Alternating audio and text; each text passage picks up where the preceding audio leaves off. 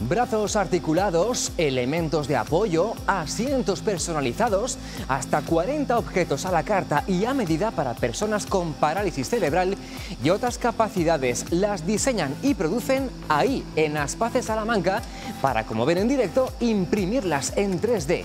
Una solución innovadora en la que todos podemos participar. Una campaña de microfinanciación busca ahora 8.000 euros para seguir produciendo estas piezas durante un año más. Enseguida les contamos para qué sirven y también cómo podemos colaborar.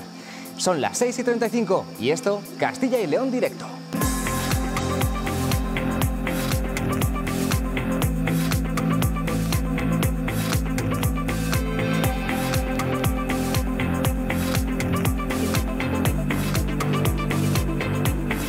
¿Qué tal? ¿Cómo están? Muy buenas tardes. La tecnología, como ven, permite soluciones individualizadas que mejoran la calidad de vida o también dar nuestros primeros pasos como pilotos antes de volar un avión, ¿verdad, Elena Rodríguez?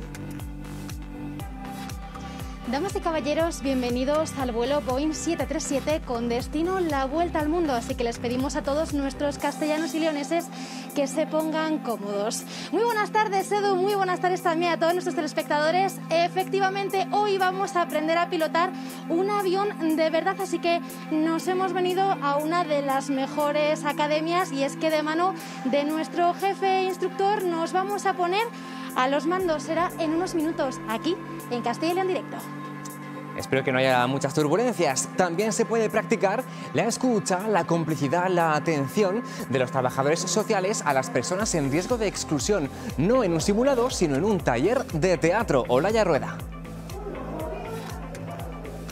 Sí, Edu, muy buenas tardes. Hoy toca dejar la vergüenza a un lado porque asistimos en Campo Naraya a un taller de teatro de improvisación.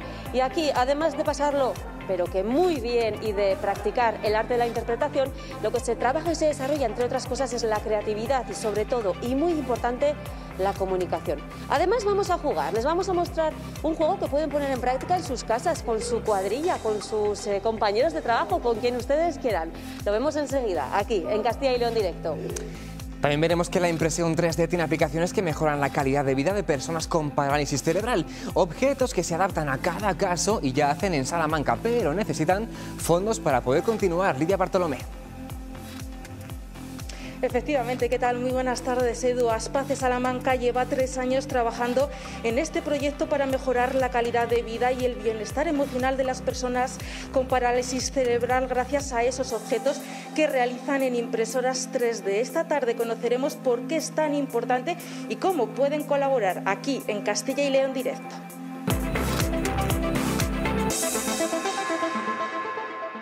Bueno, hoy tenemos un programa de altos vuelos porque empezamos la tarde no a bordo de un avión, pero bueno, lo más parecido. Estamos en una escuela de vuelo en Ávila que imparte los cursos necesarios antes de ponernos a los mandos, que también pilotaremos hoy, ¿eh? pero un poquito más tarde. Antes, comandante Rodríguez, hay que dar algo de teoría, ¿no? Muy buenas tardes.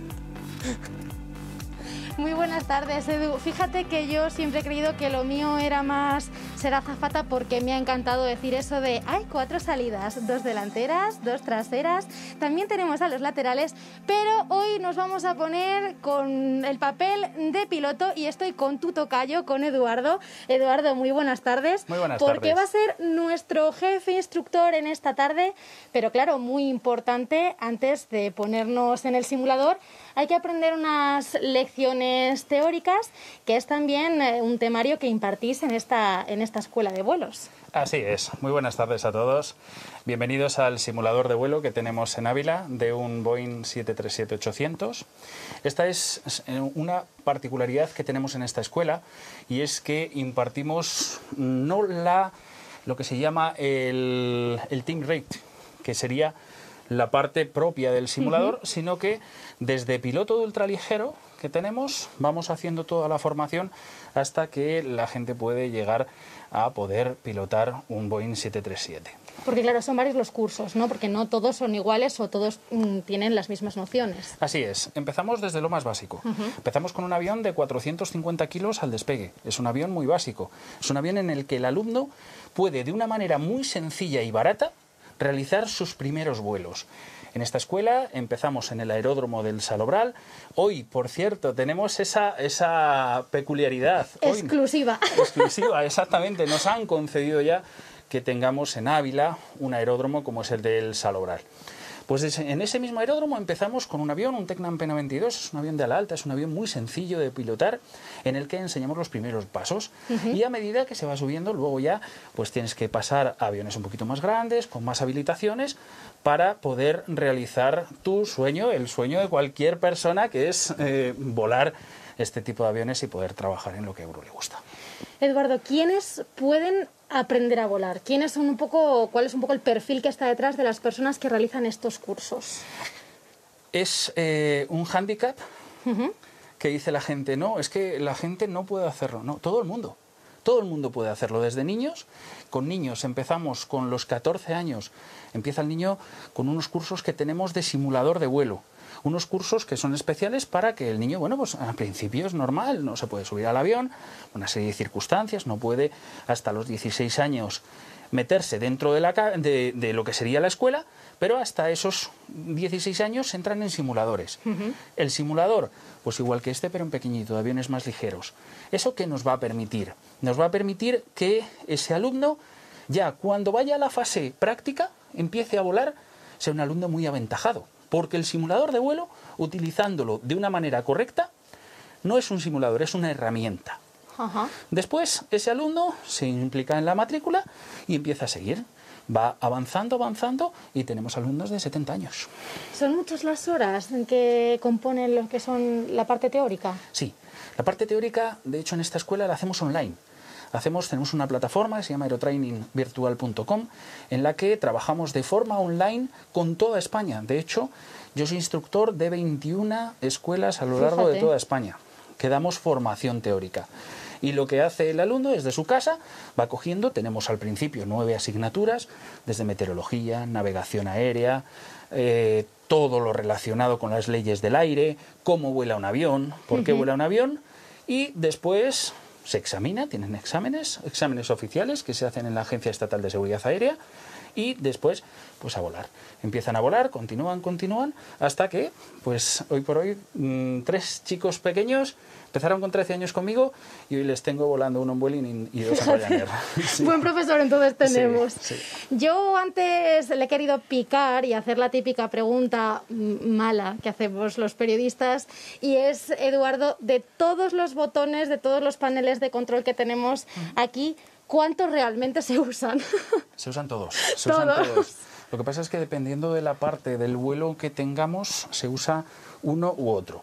Lo más normal es que al principio se hace el check de la comprobación que nosotros decimos de todos los equipos que llevamos y a medida que se va volando, pues depende de las necesidades del vuelo en el tramo que se esté volando, pues se utilizan una parte, una parte u otra.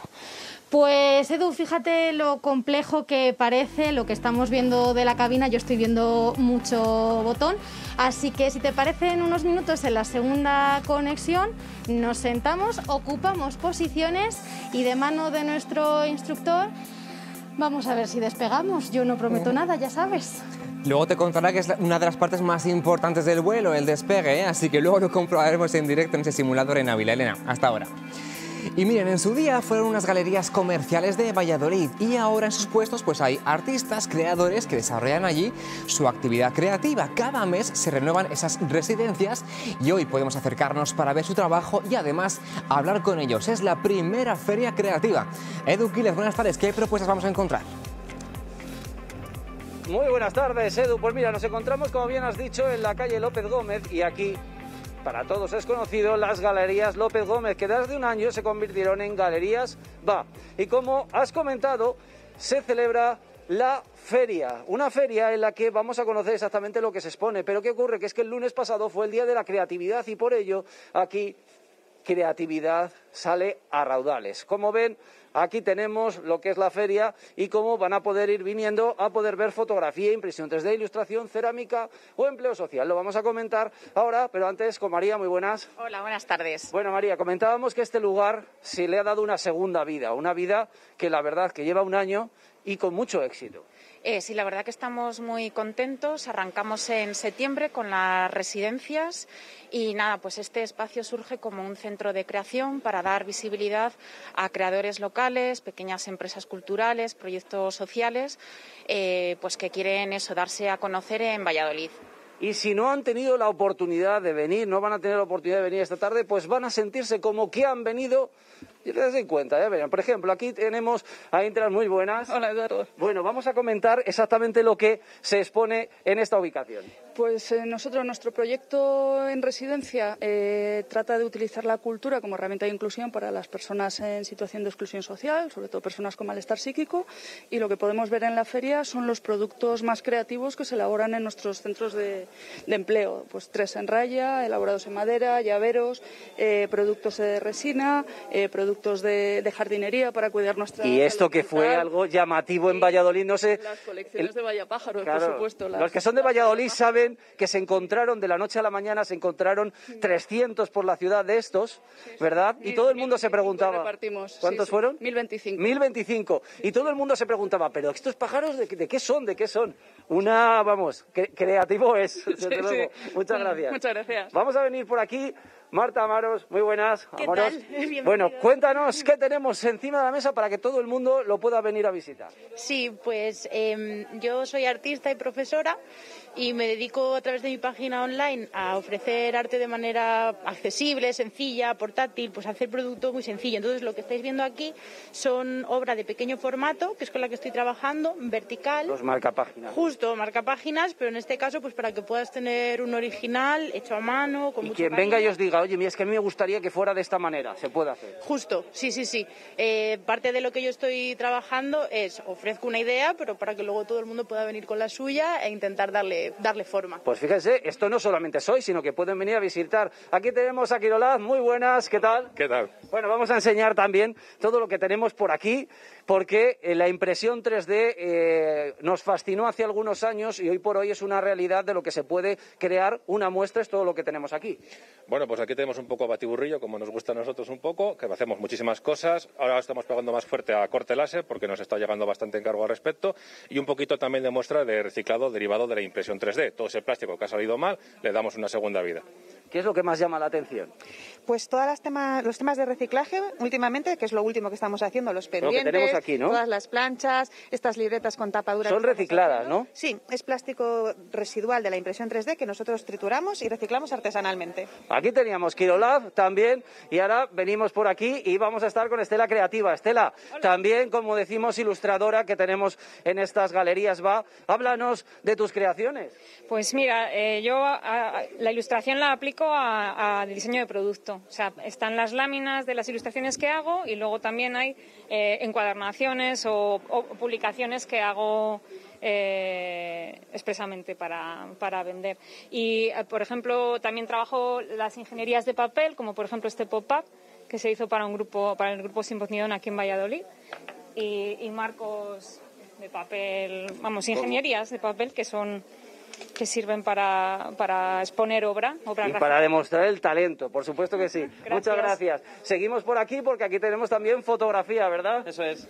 Bueno, básicamente yo doy servicios de fotografía y formación, ambas cosas. Eh, desde servicios de retrato, retrato artístico, de moda editorial también y sobre todo estoy más enfocado ahora mismo en el tema de de, la formación. Si podéis ver un poquito lo que son los carteles. O sea, quien quiera aprender eh, de fotografía puede venir aquí con Roberto Carlos López para aprender un poquito más cómo trabajarlo, ¿no? Eso es, desde, desde diferentes aspectos como el manejo de la cámara al principio, como un poco más profundizando, tema de composición, color. Bueno, pues ya ven, eh, quien esté viéndolo y diga, oye, pues es que a mí la fotografía me encanta, pues anímense a venir por aquí también el calabacín a ver, a ver, a ver, a ver, lo tenemos aquí. Cuéntanos, errante. Pues nosotros somos el Calabacín Errante. Somos una pequeña, pequeña, pequeñísima pyme. Eh, ¿Habla? Claro que habla. A ver. Hola. Uy. hola, hola. Somos una pequeña pyme que nos dedicamos a la educación patrimonial y además colaboramos con, con otra gente, otros colectivos. Eh, lo que hacemos son contar el patrimonio de Castilla y León a través de cuentos teatralizados y talleres. Talleres de arte, de creatividad, de escritura creativa. Y tenemos un proyecto aquí súper bonito, que es este, que es un proyecto que hicimos para eh, el Valle del Coa y Siega Verde, que es Patrimonio de la Humanidad, que están muy cerquita de Ciudad Rodrigo. Es un yacimiento arqueológico del Paleolítico. Y ya prácticamente y ya prácticamente terminando toda la visita que teníamos, por aquí teníamos fotografía, que decíamos también fotografía muy llamativa, eh, que realmente parecen lienzos. Sí, estos son eh, retratos pictóricos. Y entonces eso, eh, la fotografía se hace aquí en el estudio y luego lo que yo hago es con, las, con el Photoshop, con técnicas digitales, pues acabo haciendo una pintura imitando un poco a los viejos maestros. Pues una maravilla, lo estamos viendo y ya nos vamos a despedir porque todos ellos siguen aquí en Garías Va. Ella ya no está, pero esta creación es con la que nos despedimos para que vean que también la ha querido exponer, que es exactamente. Sí, es clorotípica. Clorotipia es una técnica eh, alternativa al revelado fotográfico que lo que hace es revelar con la luz solar imágenes, ilustraciones en este caso. Y nos despedimos, ya han visto todo lo que se expone aquí en Galerías Va, en la calle López Gómez. Pueden venir cualquier vez para poder ver la creatividad de la ciudad. Hasta luego, Edu. Una minifera que no se agota nunca porque de vez en cuando van cambiando los talleres. Gracias, Edu Quírez. Buenas tardes. Se han fijado, ¿no? Uno de esos talleres será de impresión 3D y precisamente esa técnica se ha demostrado muy útil para crear elementos que facilitan un poco las cosas a las personas con parálisis cerebral. Por ejemplo, asientos adaptados a cada uno, elementos de apoyo para elevar el plato al comer, brazos articulados incluso. Bueno, en Aspace Salamanca los diseñan e imprimen, son estos que ven aquí. Día Bartolomé, buenas tardes, pero ahora necesitan dinero para poder seguir así otro año más. Efectivamente, ¿qué tal? Muy buenas tardes, Edu, de nuevo. Contaremos a lo largo de la tarde cómo la gente que nos esté viendo puede ayudar a Espacio Salamanca para que continúen con este proyecto y para que esos objetos que facilitan la vida de todas esas personas puedan seguir eh, fabricándose. Tengo esta tarde con nosotros a Elena, aficio de Aspace. ¿Qué tal? Muy buenas. Hola, Lidia, buenas tardes. Y tenemos también a Antonio, ingeniero, que es el encargado de, hacer realidad lo que Elena y sus compañeras te, te proponen por esas impresoras 3D. Muy buenas tardes. Buenas tardes. Bueno, Elena, decíamos hace tres años que empezáis a fabricar, a elaborar, eh, gracias a esas impresoras 3D, objetos que, facilitan la, calidad de vida de, los usuarios, pero ya lo realizabais antes, eh, pero con otros materiales, ¿no? Sí, bueno, lo que hacíamos en esencia era intentar cubrir y, y solucionar las necesidades de la interacción con el entorno, la autonomía, la postura y lo hacíamos pues con otros materiales, con, cartón, con madera, con espumas. Cuando conocimos la, eh, la, tecnología de la impresión 3D, pudimos, tuvimos la oportunidad de formarnos con Antonio y vimos que era una gran oportunidad para generar esos objetos en 3D que necesitábamos y que, de los cuales teníamos una idea muy clara pues podíamos llevarlos a cabo. Entonces, bueno, em, iniciamos el proyecto. En estos tres años hemos elaborado más de 40 objetos. Estamos, la verdad, muy, muy contentos las personas con las que eh, los estamos utilizando y las personas de, Aspace ya, ya, están usando muchos de ellos. Eh, en general, lo que, lo que ocasionan es eh, una autonomía distinta, eh, nos permite empoderar a las personas en, la relación con el entorno, en la inclusión, en la participación, en el funcionamiento y, bueno, pues hay una serie de herramientas que, antes no teníamos, para las que no existía una solución en el mercado y bueno, las hemos generado y otras nos han permitido hacer las cosas de una forma mejor. Cuéntanos algunos de esos objetos porque son pequeñas cosas que, pero, que para todas esas personas son un mundo, Elena. Muy importantes, es verdad. Pues mira, hemos sacado algunas cositas un poco más representativas de lo que estamos haciendo. Eh, hemos hecho algunas ortesis para, para controlar la postura y mejorar, evitar la, evolución de deformidades. Hemos hecho eh, eh, manillares, por ejemplo, para algunos de los, de los, pomos de algunos centros. Los pomos son redondos y eso eh, lo que ocasiona es que no haya una posibilidad de, que algunas personas abran las puertas. Entonces, con esto, eso les da pues, mucha autonomía, les empodera al final en, su, en las decisiones. Eh, algunas de las personas que atendemos están alimentadas a través de una PEG, que es una, eh, bueno, una solución para alimentarse a través del estómago y la persona que alimenta tiene que hacer mucha fuerza con el brazo. Entonces, hemos diseñado este alimentador de jeringuilla que lo que hace es, con un movimiento mucho más simple, eh, permitir una administración de la. Hasta 40 objetos que, nos decías que salen gracias a esas impresoras 3D, Antonio. ¿Cómo facilita esta técnica? Bueno, lo que nos está contando Elena cuando te contaron un poco que, no sé, el trabajo que realizabas anteriormente o qué se imprimían en esas impresoras, pero que iban a ayudar a tantísima gente. Antonio. A ver, yo cuando empecé, pues eh, al final no sabes las utilidades que tiene una máquina como esta, una tecnología como esta, que hace 10, 12 años estaba solo accesible a grandes empresas. Entonces se popularizó, se bajaron los precios gracias a, la caducidad de patentes y conocí a Elena y a un equipo de gente del sector sanitario empezamos a, dar una formación para ver las posibilidades que ellos vieron, que yo no las veía en este ámbito, y empezaron a, verse opciones de trabajo. Luego ya empezamos a colaborar y al final las impresoras 3D, en la actualidad existen impresoras de bajo coste, de escritorio como las que tenemos ahí, luego impresoras más caras, pero lo que te dan es la posibilidad de hacer objetos personalizados a medida desde una única unidad. Y nos permite modificar, iterar esos objetos, rediseñarlos con, con muy poco coste, digamos. Pues Antonio, si te parece, en la siguiente conexión nos vas a enseñar esas impresoras 3D Edu y también me gustaría decirle a nuestros espectadores que probablemente se hayan dado cuenta que a lo largo de esta conexión ha salido en la pantalla un código QR, pues ahí podéis acceder porque es la forma que tenéis de colaborar para que Aspace Salamanca pueda seguir financiando este proyecto. Pero en la siguiente conexión hablaremos también de esto, Edu. Volveremos luego en directo a Salamanca y también ponemos ese código QR para que en casa cualquiera pueda escanearlo y hacer la donación que estime eh, oportuna. Gracias, Lidia. Hasta ahora. Hay otra atención que hay que cuidar ¿eh? y es la de los trabajadores de la intervención social hacia personas sin riesgo de exclusión. La escucha, la complicidad, la creatividad son facetas que esta semana han estado entrenando en Camponaraya, esta localidad berciana de algo más de 4.000 habitantes, ahí al, oeste de la, provincia de León. ¿Y saben cómo lo han estado practicando? Con un taller de teatro de improvisación.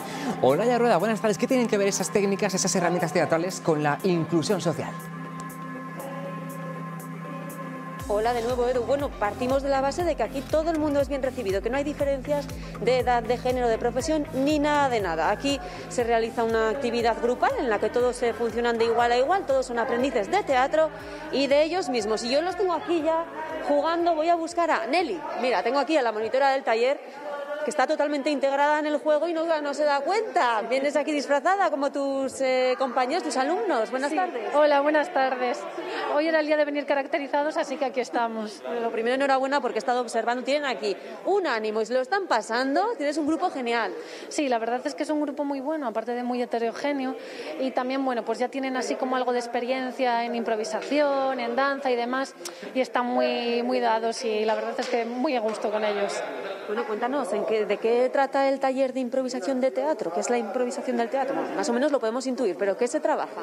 Bueno, pues lo que se trabaja principalmente con el teatro de la improvisación son ese tipo de herramientas eh, y habilidades para poder desenvolvernos en nuestro día a día. Es decir, todos cuando nos levantamos por la mañana improvisamos nuestro día, no venimos con un guion estructurado, sino que improvisamos.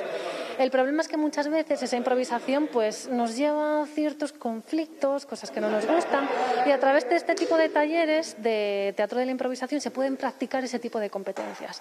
Un poco pues también el autoconocimiento, saber qué habilidades se me dan mejor, qué habilidades se me dan peor y un poco pues eso, también adaptarnos a las diferentes circunstancias que se nos pueden enfrentar en nuestro día a día. Y lo que hemos hecho ha sido pues un ciclo de cuatro días en el que durante estos tres días, lunes, martes y miércoles, hemos estado haciendo talleres de teatro, movimiento, expresión corporal y demás. Y a mayores ahora lo que estamos haciendo para finalizar es el juego de mesa de teatro de la improvisación. El juego que es que lo hemos prometido y lo tenemos que enseñar porque la gente igual también querrá jugar en sus casas. Si nos lo explicas así brevemente, porque claro, tendrá luego sus... ¿no? Sí, sí, yo os lo cuento. Es un juego que tiene un tablero central y consta principalmente de, cuatro tipos de pruebas, eh, de storytelling, de personajes, de acción e interacción. Entonces, por grupos, tienen que seguir superando cada una de estas pruebas. Además, cuando vayan superando unas, cada una de esas pruebas, pueden obtener insignias y ahí hay dos ganadores. No está el que primero llega y supera todas las pruebas, sino que también está el que más insignias tiene. Y es en lo que estamos trabajando ahora. Además hay cartas de obstáculo para poner un poco más difícil el superar esas pruebas. bueno, es una especie de trivial, pero de la interpretación, ¿no? Sí, trivial, party, no tanto trivial, sino más similar. Yo creo que un party, sí, es más parecido. Voy a, si te parece, voy a preguntar por aquí a tus alumnos que les veo yo están concentrados en la prueba, ¿eh? pero oye, ah, mira aquí, por ejemplo, estás un poquito más apartada, hola, ¿de qué vas vestida? Pues yo voy así un poco de todo, de lo que me surja. De lo que has improvisado. He improvisado con la peluca, todo rojo, pues la dama de rojo.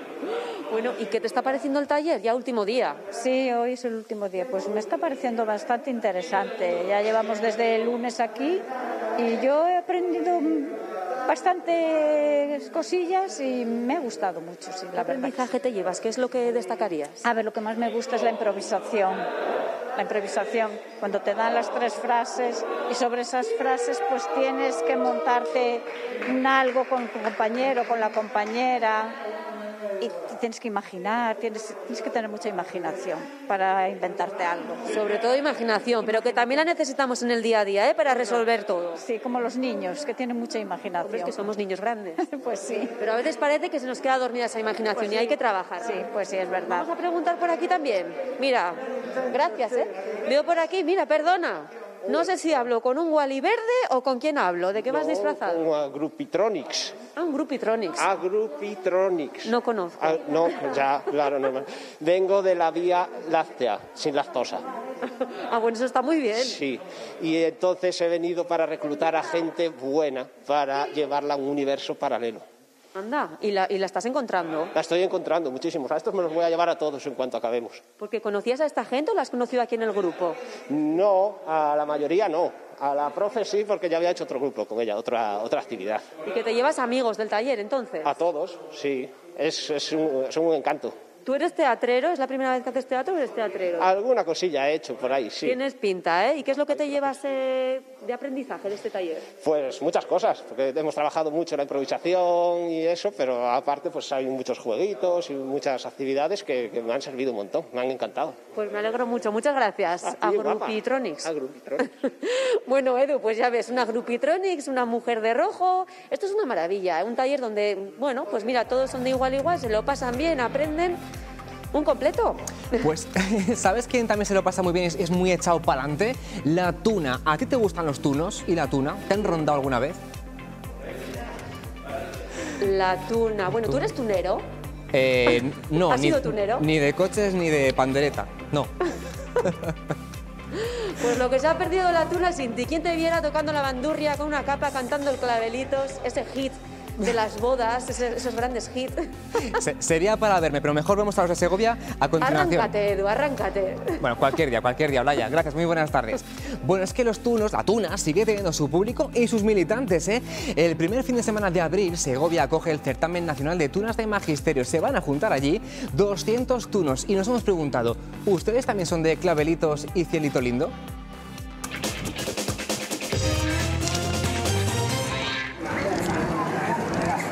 Encanta la tuna. Claro que sé lo que es una tuna, me gusta mucho. En mi tierra hay muchas. Yo soy de Granada. Es bonito el verles cómo, o sea, cómo acompañan a la gente y cómo, cómo tocan. Sí, me encanta. A mí también. A mí me gusta mucho, sí, es verdad. Y a, mí también. No, la que tocan siempre, hombre, los clavelitos. Tu clavelito, clavelito de mi corazón. Yo en la comunión de mi hija, de mi nieta, en la de mi hija, sí. Sí, yo también, sí, sí. Sí, yo hace muchos años eh, estuve bailando con ellos. Es bien, alegre y todo para la gente. Pues si no se- Muy bien, muy bien. Allá. Yo toco la pandereta en el, en el coro que vamos y hago la chirma muy bien porque estoy muy ágil. Los clavelitos. Tu clavelito, clavelito de mi corazón. De toda la vida, mucho. Triste y sola, sola se queda en la escuela. Bueno, pues de estas muchas. Me gusta. Tu clavelito, clavelito de mi corazón. No, no mucho. No te gusta. No. ¿Por qué? Bueno, porque creo que es algo ya de otra época y ahora no existe en cuanto tal la tuna. sino que son los reenganchados. No me llena a mí la tuna. Tu clavelito, clavelito de mi corazón. Es que me pongo nervioso. Ya, ya, se- ya nos está lloviendo, nos va a llover. No va a llover más, eso. ¿Qué les decía? Tienen tirón, ¿eh? Así que ya saben, el 1 de abril a Segovia, a ese encuentro nacional. Y se celebra allí, en la ciudad del acueducto, porque la tuna anfitriona cumple este año medio siglo. Y ya para redondear el acontecimiento, Natalia Fernández, muy buenas tardes, es que en febrero ganaron un certamen de tunas en Cádiz. Vamos, lo mejor de lo mejor. Eso es, Edu, ¿qué tal? Muy buenas tardes. Efectivamente, cumplen 50 años y qué mejor que hacerlo pues con un trofeo, con un campeonato como el que han ganado allí en Cádiz. Vamos a conocer un poquito más acerca de esta tuna que, como bien decíamos, cumple 50 años. Cuéntanos un poquito, muy buenas tardes, ¿dónde está el origen de esta tuna ya, de esta tuna ya por 1972? 70, 70. El 50 aniversario tendríamos que haberlo celebrado en 2020, pero por motivos que todo el mundo conoce, pues eh, lo hemos tenido que trasladar a, a este año. Entonces, Mucho más longevos, 52 50 añazos. más 2.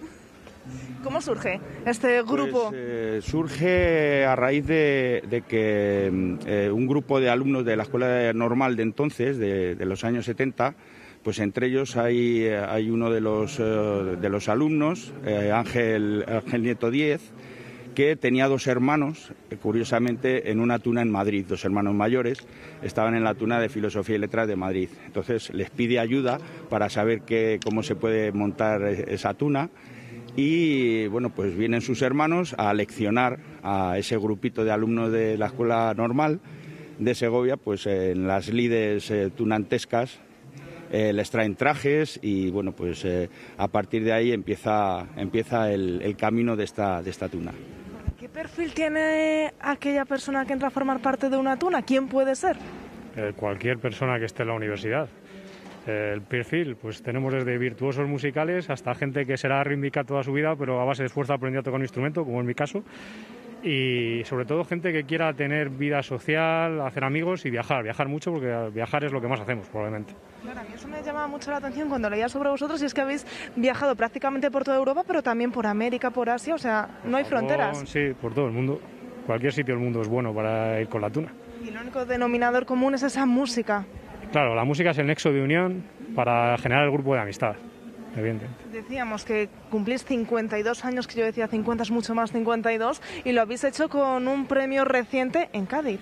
Sí, bueno, eh, ya en 2020 empezamos a, a pensar a ver qué actividades podíamos eh, organizar para celebrar estos 50 años y eh, pues eh, salieron varias, las típicas de, de Tuna, el ir a rondar a, a- a mujeres eh, significativas para nosotros, eh, que hubiesen hecho algo por nosotros, por la Tuna, en Segovia. También eh, teníamos pensado el empezar a, el volver a participar en, en certámenes de tunas. Y bueno, pues eso es lo que ha pasado, que en, febrero nos invitaron a, la línea de la Concepción en Cádiz, eh, la tuna de, de peritos de Algeciras que organiza junto con los exalumnos de los salesianos de allí un certamen. Y casualmente pues lo ganamos y aquí hemos traído el premio que estará en la, pro- en la exposición que vamos a poner, que luego te conto un poquito más de la exposición. ¿En qué consiste un certamen de tunas? ¿Qué hay que hacer? ¿Cómo os medís unos con otros? Bueno, básicamente suele haber tres concursos. Eh, uno suele ser una ronda, que suele ser debajo de un balcón o algo parecido por la noche. Un concurso de pasacalles por la, como su nombre indica, por la calle, tocando a la gente para que lo vea en movimiento.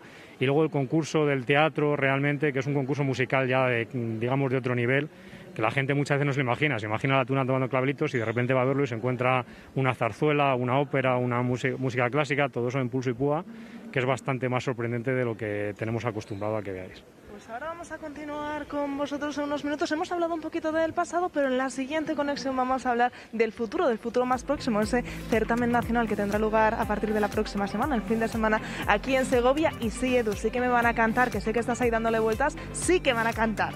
Le doy vueltas a eso y a que luego preguntes cuántos llevan ya 52 años en la tuna. Luego nos lo cuentas, Natalia, hasta ahora. Y no es por hacer una broma fácil, ¿eh? pero también estaremos a la vuelta de publicidad en uno de los bares míticos de Palencia y en la cita de la industria musical de España y Portugal. Enseguida estamos de vuelta.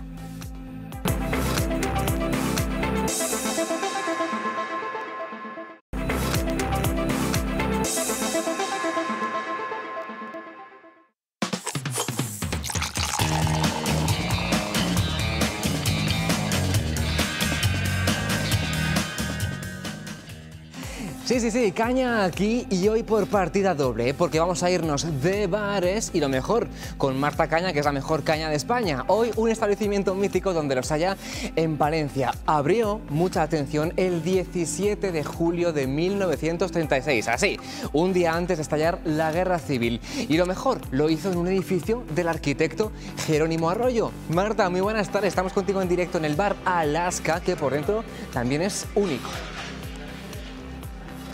Así es, ¿qué tal? Muy buenas tardes. Estamos en el Bar Alaska, un bar de 1936, vamos, que abrió antes de ayer. Yo me voy a colar en la barra, que como puedes ver es una barra bastante alta. Yo me colo aquí como si estuviera en mi casa. Muy buenas tardes, Luis. Buenas tardes, ¿qué tal estamos? Bueno, veo que esta barra alta es, ¿eh? De verdad. Alta es, alta es, sí, es de las clásicas, antiguas, eh, con barra alta, los locales.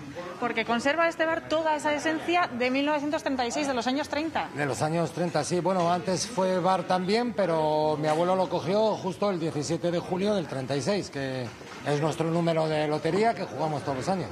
O sea que un día también importante para señalar. Un día importante, sí, en las fechas de la historia de España, así es. Sí, porque estaba comentando ahora también precisamente nuestro presentador, Edu, que fue un día antes de la guerra.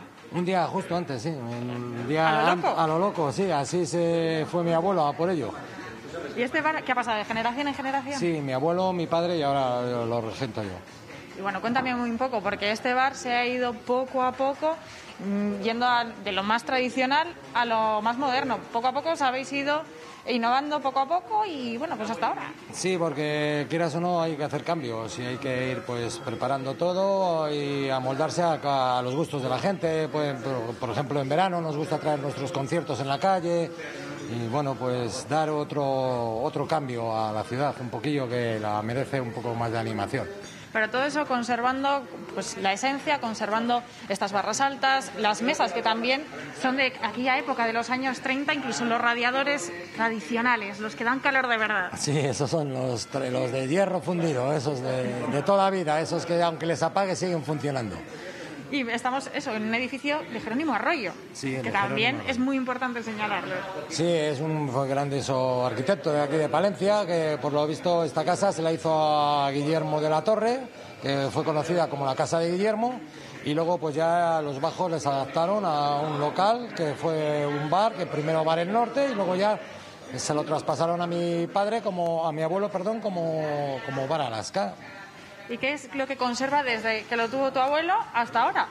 Pues casi todo, todo. La barra, bueno, les ha ido modificando porque al principio estuvo en aquel lateral, pero luego ya se puso para este lateral.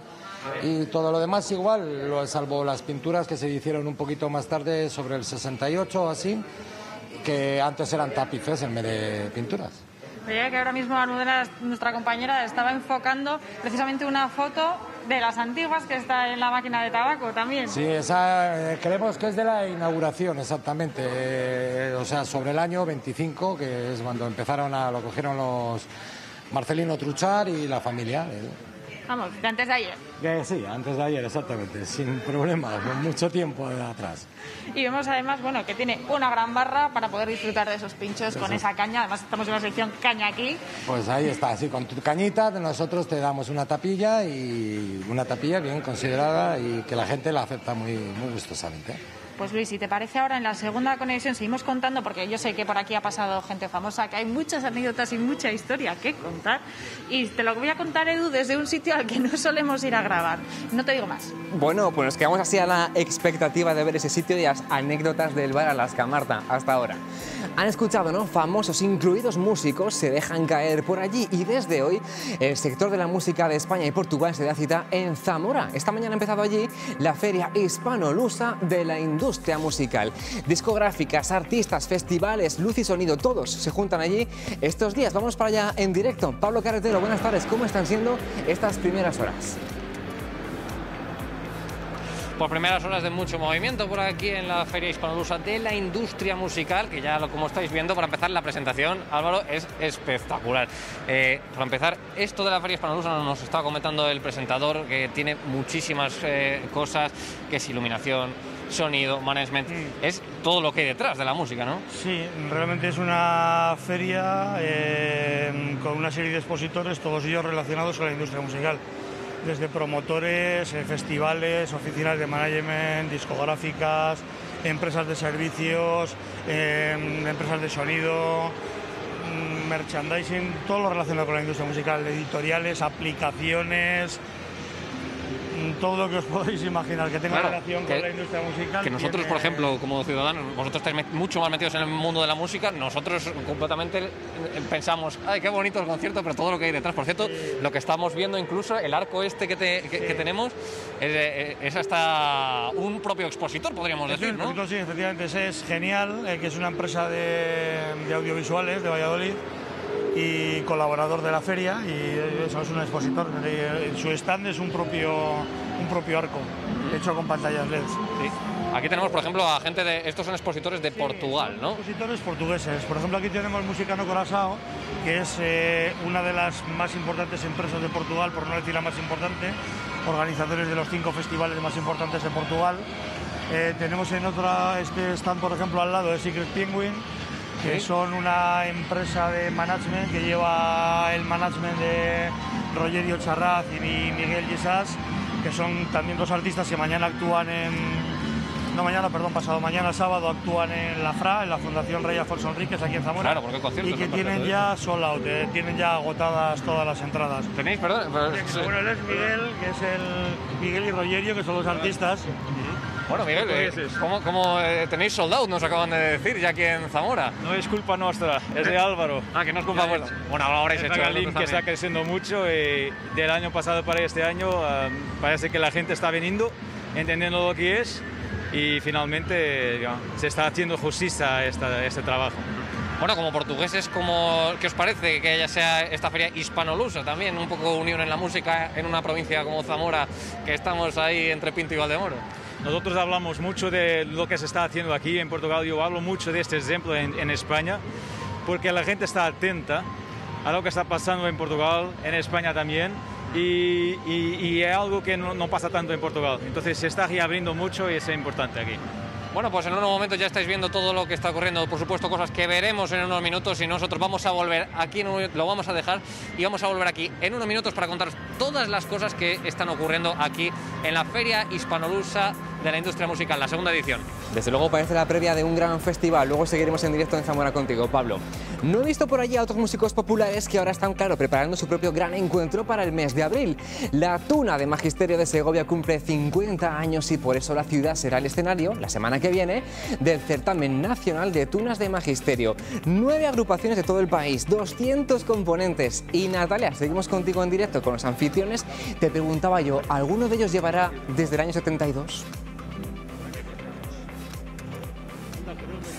Edu, muy buenas tardes de nuevo. Pues se lo he ido preguntando y casi hasta me ponen colorada porque dicen que les veo con muy malos ojos. Os traslado la pregunta que me lanza Edu, que es él el que pregunta, yo no, porque yo os he hecho 20, 30 años como mucho. Me comentaba, ¿alguno de vosotros lleva los 52 años? Pues los 52 años no, pero ah, de todos los que estamos aquí, el que más años lleva es Fernando, que Pajarillo, que es el primero que entró de todos nosotros a Magisterio. No sé qué año... Fernando. Pues se fue en el año, yo creo Hay que fue memoria, hay la 81, 80-81. Y te llaman pajarillo, Sí, me- me- entonces me llamaron pajarillo y ya para toda la vida. porque aquí es muy común eso de los motes. Sí, sí, eh, mis hijos me llaman pajarillo también.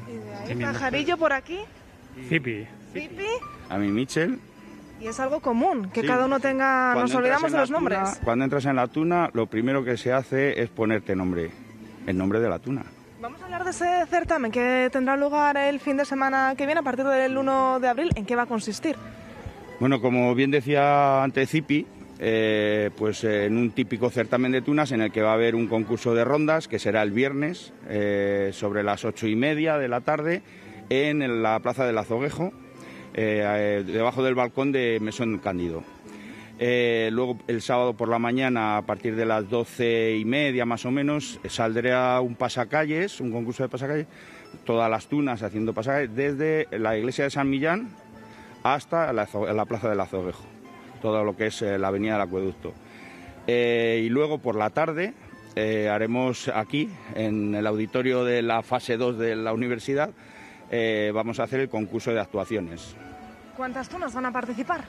Eh, pues van a, vamos a ser 10 tunas, son todas las tunas de magisterio que hay en activo ahora en España. Viene también invitada nuestra tuna hermana, que es la tuna de Derecho de Valladolid, y más o menos cada una va a actuar unos 25 minutos. ¿Cuántas veces habéis ganado vosotros un certamen como es? Que vais a ser anfitriones. En Nacional dos veces le hemos ganado. ¿Qué se siente al ser los mejores a nivel nacional? Yo recuerdo la primera vez que lo ganamos en Sevilla sí sentí mucha alegría. Luego ya la segunda vez eh, te... Ya como ya los he vivido una vez. Sí, ya te gusta, pero no es tan impresionante. Entre las canciones más populares, ¿cuáles están y cuáles nos vais a cantar? Mm, es evidente que la más popular es Clavelitos, que es la que siempre nos pide la gente. Eh, y aquí lo que vamos a cantar es, eh, como bien también decía antes Zipi, eh, hay versiones de canciones que vamos a hacer María la Portuguesa. Pues venga, os dejamos, nos vamos a despedir precisamente con María la Portuguesa, con esta tuna de magisterio que cumple 52 años, es de 2022.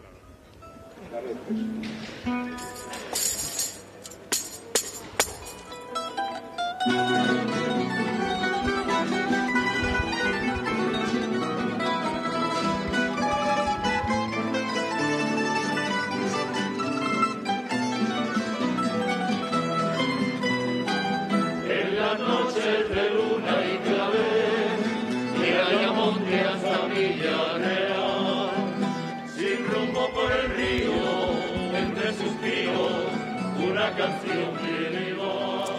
Pues aquí en, en directo desde Segovia, María la Portuguesa en las voces e instrumentos de la Tuna de Magisterio de Segovia, ¿eh? que se prepara, calienta motores para ese certamen nacional del primer fin de semana de abril, al que llegarán a Segovia tunos y agrupaciones de toda España. Estaremos el próximo viernes con ellos, ¿eh? por supuesto.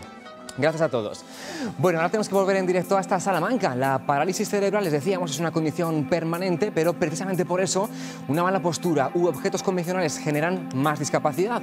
Lidia, hola otra vez. Allí diseñan esos objetos personalizados que imprimen en 3D. Vamos a ver ahora cómo y un código QR para que cualquiera pueda colaborar económicamente, con el proyecto.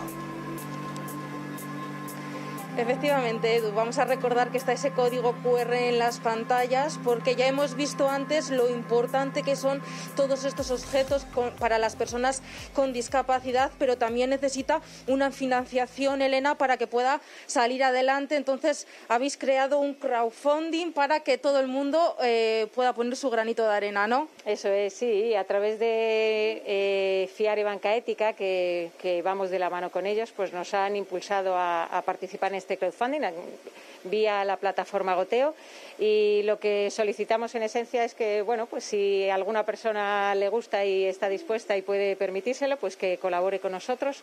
La aportación es voluntaria, hay unas eh, cantidades eh, marcadas, pero eh, cualquiera es buena. Hay además una serie de recompensas para las distintas aportaciones, desde un vídeo de agradecimiento, desde por las personas que, que están en Aspace o la visita a nuestro centro y al proyecto 3D o una sesión online con Antonio donde le, para comentar sobre el proyecto, plantear dudas, etcétera, o incluso algún objeto personalizado cuando la aportación es importante.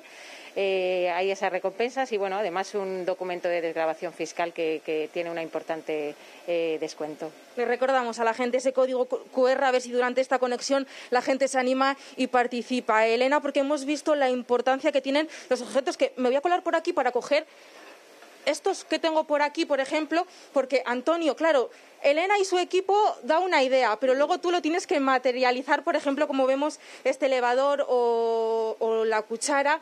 ¿Qué es lo más complicado, qué es lo más difícil de llevar a cabo de una idea a la impresora, Antonio? A ver, cada diseño tiene unas características, entonces, tanto técnicas como de materiales como de diseño.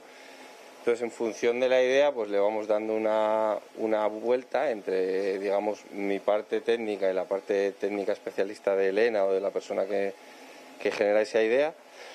Y partimos de un boceto en papel a ir creando cada parte en 3D en el ordenador, preparándolo de una manera óptima para la fabricación aditiva, que no es lo mismo diseñarlo para fabricarlo, por ejemplo, en madera que fabricarlo en 3D. Tenemos unas limitaciones, pero bueno, casi cualquier producto se puede crear en, en impresión 3D. Tenemos un, pro- un producto que parece simple como este adaptador de cubiertos, al final tiene su complejidad porque tienes que adaptarlo, final tenemos la versión inicial que era esta y la versión actualizada, modificada, que es la que se está haciendo en esta máquina, que al final lo que hemos hecho es redondear un poquito más el, el mango para poderlo agarrar Mejor. Pues muchísimas gracias, Antonio, por explicarnos cómo funcionan un poco las eh, impresoras 3D. Gracias, Elena, por trabajar para mejorar la calidad de vida de todas esas personas, Edu. Y nada, solo nos queda deciros que la gente que se anime a ver si consiguen esos 8.000 euros que se han puesto de reto para que este proyecto continúe adelante aquí en Aspace Salamanca. A ver si damos un empujoncito en Castilla en directo, que otras veces lo hemos conseguido. Gracias, Lidia. Buenas tardes. Por aquí estábamos, por otra parte, a punto de embarcarnos en un vuelo. Está a punto de despegar en Ávila, pero no se va a mover del sitio porque es el simulador de la escuela de vuelo en la que seguimos en directo con Elena. Hola otra vez. Vamos a reproducir un vuelo del Boeing 737. Bueno, y menos mal que no se va a mover del sitio porque si no, no prometo nada, porque es que encima ya me estaba diciendo Eduardo que tenemos a 187 pasajeros con nosotros. Estamos ahora mismo en el aeropuerto de Palma de Mallorca y vamos a poner, Eduardo, rumbo a Madrid, Madrid-Barajas. Pues yo creo, chicos, que vamos a comenzar ese despegue. Pues piloto, le escuchamos. Bueno, pues estamos en el aeropuerto de Palma de Mallorca, en la pista 24 izquierda. Una vez que ya hemos hecho todas las comprobaciones de la cabina, pues entonces vamos a proceder al despegue. Para hacer el despegue simplemente colocaríamos frenos, aplicaríamos potencia. Por favor, Elena, ¿me pones los flaps en 5? Ahí los tenemos. Ahí, perfecto. Ahí estamos. Metemos potencia hasta que alcancemos el 40%. Ticamos y nos vamos. Bueno, nos salta el Teco Warning System. ¿Qué significa? Que no estaban bien sellados los flaps, ¿vale? ¿Lo pongo? Ahí le tenemos, ya estaríamos. ¿Vale? Estamos rodando por la pista. Ay, Nuestro- ay, ay. Cogeríamos velocidad. Máxima velocidad, ahí la tenemos. Sin pasarnos de ese rojo. Es lo que te iba a decir, que se nos pone lo que Se es... nos pone porque no le hemos dado exactamente la velocidad del despegue. Entonces, ya lo tendríamos. Vemos ese talud que viene cerca. Ay, ay, ay, ay. Nos cogemos y nos vamos para arriba. ¡Ole! Ya Oye. estamos volando, ahí lo tenemos. ¡Qué manejo, ¿no? Con las manos. Bueno, eh, el despegue, siempre como decimos, es opcional, el aterrizaje es obligatorio. Ahora, por fin, vamos Quitamos. a tirar de él y vamos a subir el tren de aterrizaje. Venga. Ahí estamos. Vemos como los indicadores al principio están en rojo y luego se nos van a poner en verde.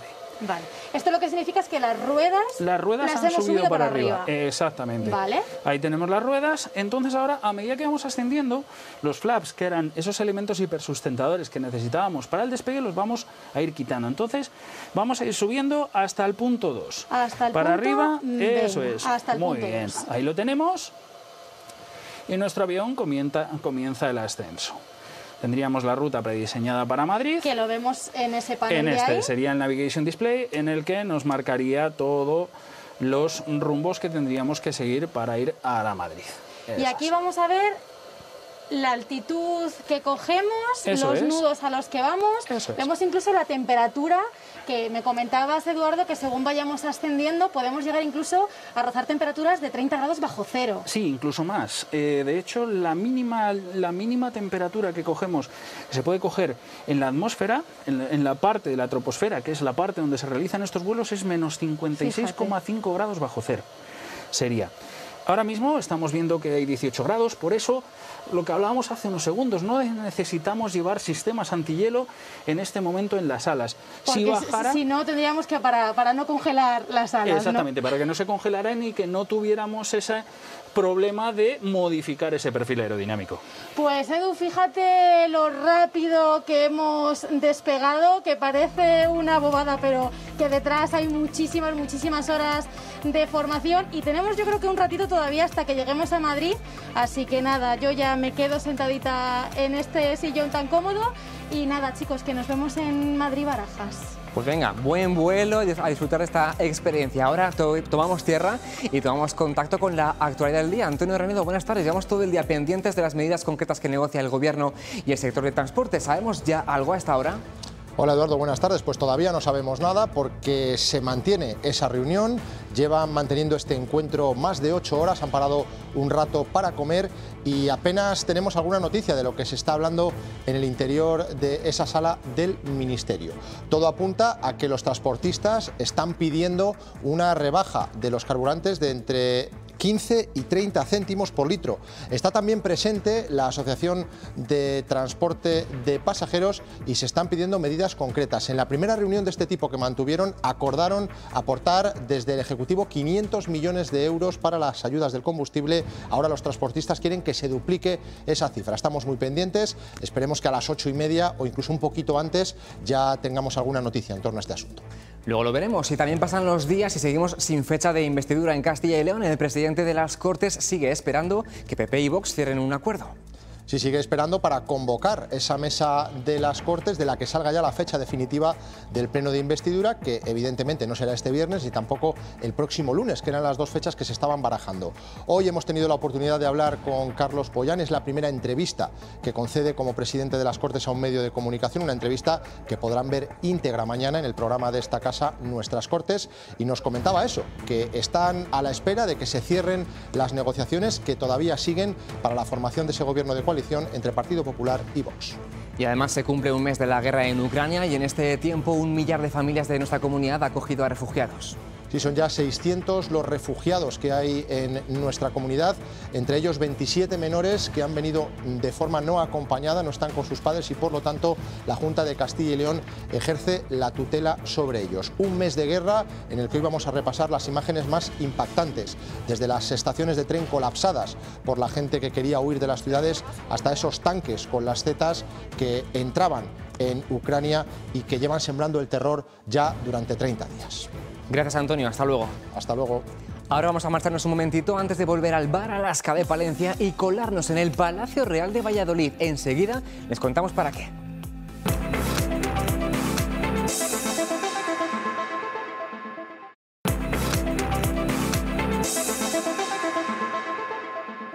La industria musical de España y de Portugal tiene su propio congreso y se celebra desde hoy hasta el domingo en Zamora. Stands con todo el mundo de ese sector. Seguimos en directo con Pablo allí en Zamora. Además hay música en directo, firmas y otras novedades, ¿no? ¿Cómo está ahora el ambiente?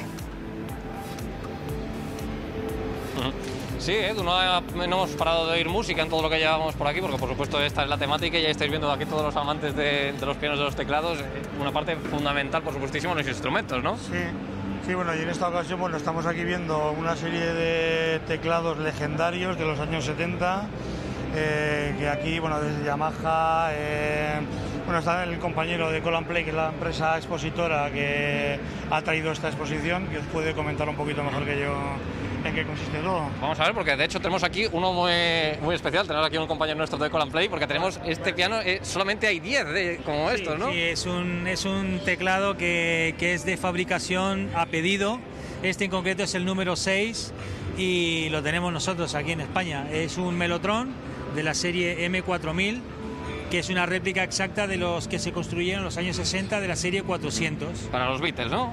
Eh, efectivamente, el, casualmente este es el número 6, el número 5 corresponde al, al, hijo de George Harrison de los Beatles. Ah, fíjate. Y el número 7 corresponde a Paul Weller. Y el número 6 es nuestro, es el de Colin Play. Entonces, esto ahora esto se oye la nota por ahí. Hay que, hay, que, hay que, darle fuerte, pero quiero decir, es, es, es un sintetizador. Es, un, es el, fue, creo yo que fue el primer sampler porque son muestras reales grabadas en una cinta de magnetofón de media pulgada y colocadas en cada nota, tono por nota por nota, hay un sonido de, de, de un determinado instrumento. Estos son diferentes instrumentos, pero por supuesto hay muchas más cosas que, que, tenemos que ver. Por ejemplo, estamos viendo, bueno, una cosa que también que nos llama mucho, mucho la atención también, sí. hasta, hasta los baños públicos, por supuestísimo. Sí, y esto bueno, es una empresa de aquí de Zamora, eh, San Eventos, que bueno, de, de, alquiler de baños portátiles, que bueno, tiene, es la primera empresa en España que ha importado este tipo de baños para festivales, que es para baños para chicas, eh, para agilizar un poquito eh, el tema de los urinarios de los festivales. Luego tenemos por aquí también la Selvática, que es una nueva sala de, de, próxima apertura que va a abrir este próximo mes eh, con una programación de conciertos aquí en Zamora. y por allí por el fondo tenemos eh, a los expositores latinoamericanos, porque este año aparte de expositores españoles y portugueses, tenemos expositores eh, norteamericanos. Habéis cubierto completamente todo el globo. Sí, y mira, aquí tenemos por ejemplo también la Cámara de Comercio Hispano-Japonesa. La tenemos eh, Oh, fíjate. de Japón, de Chicago, Puerto Rico, Argentina, Chile, eh, Son- México. Son muchos lo- lo- los países, por supuesto, ya estáis viendo. Además, por supuesto, también tenemos aquí a un expositor, a un expositor. que es un, un luthier de, de guitarra portuguesa. Bueno, pues ya Eh, estáis viendo- Y bueno, auténticas obras de arte, es lo que fabrica. Bueno, pues ya estáis viendo todos los instrumentos, por supuesto, todas las cosas que hay en un, en un concierto y que, por supuesto, se tratan aquí. No hay ningún tipo de hueco, todo se cubre en la Feria Hispanolusa de la industria musical. Cumbre musical de España y, y- y Portugal, madre mía que me equivoco de país, hasta el domingo. Gracias Pablo, muy buenas tardes. Y si les hablo de Palacio Real, muchos pensarán en los de Madrid, en el de la Granja, pero el de Valladolid también fue la residencia de los reyes cuando la ciudad fue sede de la corte allá por el siglo XVII. Es parte de una historia que ahora cuatro ilustradores han convertido en viñetas. Natalia Fernández, buenas tardes, en un cómic que se ha presentado esta tarde, allí en el Palacio. ¿Qué tal Edu? Muy buenas tardes. Pues sí, acaba de terminar ese acto en el que se ha presentado este cómic que tengo aquí en mi mano, Historia del Palacio Real de Valladolid. Y tengo la suerte de estar con los cuatro humoristas gráficos que lo han hecho posible. Antes que nada, chicos, enhorabuena por el trabajo que habéis hecho. Muchas gracias. Además, eh, como ha dicho el propio general, esta idea empezó a fraguarse, ¿verdad?, en 2020, la primavera de 2020, un poquito, un año un poquito complicado, pero yo creo que también todo este tiempo ha hecho que podáis hacer el trabajo que habéis hecho, divulgar, sobre todo, ¿no?, la historia de este Palacio Real de Valladolid que tanto tiene que contarnos, ¿no? Pues sí, tiene mucho que contar y además es un palacio cuya historia es poco conocida entre los vallisoletanos. Entonces, contribuir con nuestro trabajo a, a darlo a conocer, pues en- estamos muy orgullosos y muy contentos. Además, hemos visto que ese hilo conductor pasa por un fantasma, ¿no?, que es el que nos va llevando alrededor de toda esta historia, ¿verdad? Sí, fue una parte que salió en una reunión y que cada fantasma fuese un fantasma y que se, as- se acercase un poco a la época. Y tiene un nombre que ahora mismo no me acuerdo. Bernardino. Bernardino se nos llama el fantasma. El nombre yo creo que no se le puse en el momento. Además, hemos visto que cada uno ha puesto su propia seña personal y hemos visto que cada uno habéis hecho un pequeño trocito ¿no? de este cómic. En tu caso, ¿cuál te ha tocado? En mi caso me tocó una de las épocas más divertidas del Palacio Real, que fue el momento en el que fue capital, eh, Valladolid era la capital de la corte y aquí reinaba Felipe III. Entonces, bueno, pues un momento impresionante, ¿no? Porque fue la- donde se firmó el Tratado de Paz con Inglaterra, eh, fue esa época mítica en la que dicen que pudo estar aquí Shakespeare, que vivía desde luego Cervantes, que, la corte estaba en Valladolid y libros como esa Fastiginia cuentan pues todos los fastos que había en esta ciudad y por supuesto en este, en este palacio. Así que me ha tocado una época muy, muy divertida. Yo creo que todas las épocas Edu que cada uno ha hecho son bastante divertidas, divulgativas, sobre todo, como decíamos, para conocer esa historia de Valladolid que a lo mejor desconocemos. Te he escuchado antes en el acto que hablabas de tus nietos, también es una manera ¿no? de que ellos conozcan una historia que a lo mejor pues no saben. Sí, yo creo que sí. Además se lo puedo explicar y como decía antes en la presentación, más que el edificio en sí, con su arquitectura que es una maravilla, que es histórica, también la, la integración de esos personajes con el fantasma y tal, en plan cómic, con Napoleón y tal, que por cierto yo como casi todos los profesionales te vas eh, eh, viendo la, la- la información que pueda haber de personajes para ver la vestimenta, es lo que he hecho yo al menos, como me hago siempre, y entonces ha sido una labor muy bonita porque te vas enterando de más cosas, como todos los ilustradores cuando tenemos que leer un texto. En tu caso, José María, además, empiezas, es la primera parte de este cómic, la propia construcción del palacio, ¿no? Sí, eh, es bonito poder contar las cosas de una forma pues amena, que no sea el típico tratado histórico, sino mm, fabularlo un poco, ha- hacerlo simpático para, para que esté un libro al alcance de todos los públicos. Pues Edu, como es un libro precisamente al alcance de todos los públicos, yo me lo voy a llevar, me lo voy a leer, te lo voy a dejar a ti para que también lo puedas ver, puedas ver también todas estas ilustraciones y que conozcamos un poco más pues, sobre la propia historia nuestra que también forma parte de este Palacio Real. Pues mira, más acabo de encontrar al fantasma Bernardino, así que esta noche me pongo al día con la historia del Palacio Real de Valladolid. Pero como es jueves, vamos a terminar el programa tomando algo en un bar, uno mítico de Palencia que cumplirá 86 años este verano. Un local de mostradores altos, espejos, molduras. Seguimos en directo contigo, Marta, hola otra vez. Y elementos muy pintorescos que han protagonizado más de una anécdota, ¿no? A ese me refería. Sí, Edu, porque yo te había dicho que íbamos a ir desde un sitio en el que no solemos grabar y es que salgo del baño. Como puedes ver, mira la altura. O sea, yo mido más o menos 1,70 para que se hagan una idea nuestros espectadores. Y si sigo bajando por esta escalera de caracol, porque antes hablábamos también de los altos techos, aquí ya paso justita.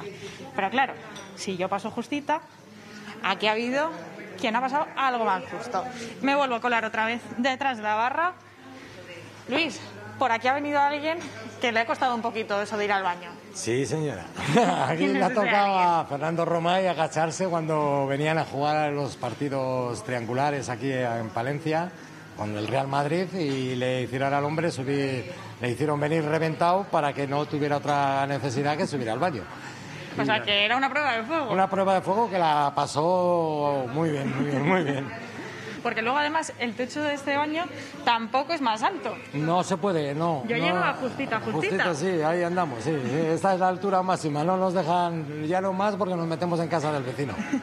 Que bueno, que igual no lo descartamos, no meternos en casa del vecino. No, no serio, vamos a estar cada uno en nuestra casa que estamos mejor. Y bueno, a ver, yo sé que, bueno, antes comentábamos el tema de los pinchos, que aquí lo suyo es venir, tomarte una cañita con su pincho, pero también podemos venir y tomarnos un vermú, que es algo también muy palentino. Sí, muy bien, sí, porque además tenemos gran variedad de vermús y, buenas propuestas, pero les preparamos muy bien, hacemos unos negronis muy curiosos y bueno, pues bien, ¿no? lo que ah, estamos abiertos a todo. Y en verano, que con el buen tiempo aprovechamos también, eso decíamos la música, pero también se pasa por aquí de vez en cuando Jerónimo Arroyo. Sí, eh, eh, últimamente, ya este año ya no ha venido, pero últimamente venía Jerónimo Arroyo y Abilio Calderón, venían por aquí eh, por las noches de los viernes con el grupo Teatro Naus, que eran los que se encargaban de hacer un poquillo, un poquillo de espectáculo aquí. Que nuestros espectadores estarán diciendo, ¿de qué hablan estos dos chalaos? Y es que venía una ruta teatralizada, ¿verdad?, explicando un poquito todo. Una foto de Jerónimo Arroyo y, y todos y todos ellos disfrazados de época. Que Eh, podría parecer real. pues sí, sí, no, era además estaba muy bien, muy muy muy logrado. ¿Y qué hacían los clientes cuando aparecían? Pues nada, eh, se ponían alrededor de ellos y les contaban una historia, una anécdota, eh, una manera muy entretenida de pasar la noche. Pues muchísimas gracias Luis por enseñarnos todos los secretos de la Alaska, por contarnos todas las anécdotas. Y bueno, yo, Edu, yo me tengo que quedar aquí porque caña aquí. Te has ido al baño porque como tengas que volver te vas a dar un fichón como Fernando Romay. Gracias y muy buenas tardes. Así cerramos el programa de hoy. Recuerden que esta noche es Noche de Moda en las 7 de Castilla en Televisión. A partir de las 10 y media, un nuevo episodio de Patrones de Moda que nos mostrará cómo es el backstage de una pasarela de moda. Yo ya los veo mañana, como siempre, en directo a partir de las 6 y 35, aquí en Castilla en Directo. Hasta mañana. Gracias.